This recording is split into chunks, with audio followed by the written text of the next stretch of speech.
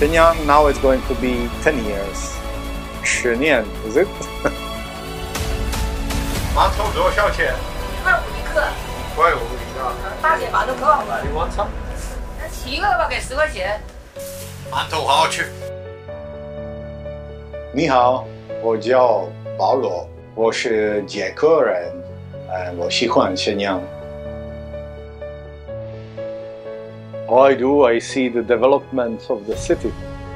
The city is actually, I could say, much more modern than in Europe when I lived in Europe because Europe is still kind of old style and it's hard to make some changes. But because Shenyang is growing up, I remember Shenyang with small buildings and now it's completely different Western city.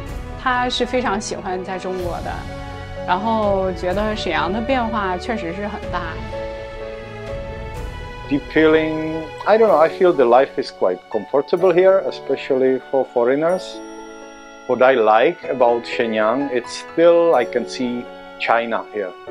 从生活条件呀，或者是呃社会环境啊，还有这个社会安定这个角度来讲，我觉得他都 确实是感觉挺深刻的。我们现在的生活呢，也是更方便了，就是拿着手机出去，其他都不用带了。I can say I'm very happy here. I would like to go back to Europe, especially right now.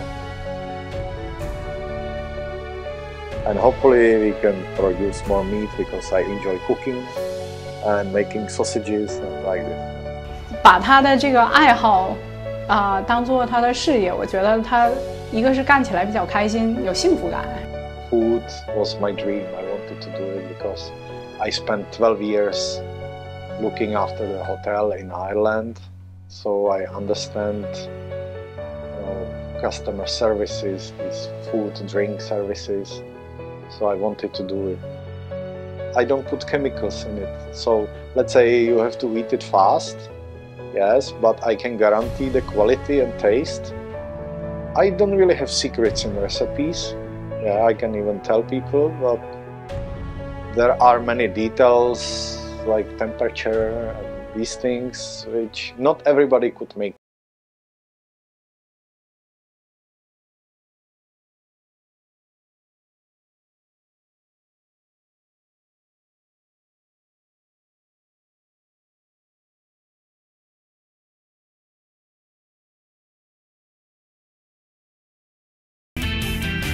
Now, maybe, what do you think about this? I think it's very special because when I'm But I have left my home when I was about 24 years old, long, long time ago. China is my fifth country I live and work.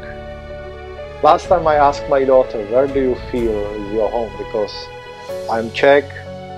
Yeah, I was born in Czech, my wife was born in China, and my daughter was born in Ireland. Yeah, so I always ask her, "What- how do you feel? What's your home? And she said, I feel best here because Shenyang, so it's it's like feel her home.